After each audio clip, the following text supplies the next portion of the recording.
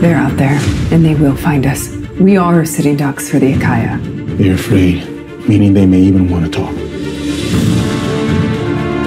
What we are about to do is not without risk, but the reward is an express ticket back to Earth. Let's go home. We can't fight. Sure as hell can't run. We've got to figure out what the Achaia want I augmented her. with Achaian code and created an alien AI. Why haven't the Achaia taken us out? The only way to know for sure is to ask them. They want to talk peace, Niko.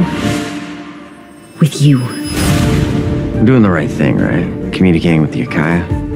All we can do is move forward. If we jump back to Earth now, they'll be right on our tails and we'll be right back where we started. Humankind has a choice accept and die, or resist and endure. I cannot continue to play defense against a species that destroys planets on a whim. We can take your entire crew back to Earth, back to your family where you belong. And in return, How many more of our friends have to die for this mission? everyone find somewhere sturdy and strap in. I promise you, we're going to make it. There is no future for us in the Achaia.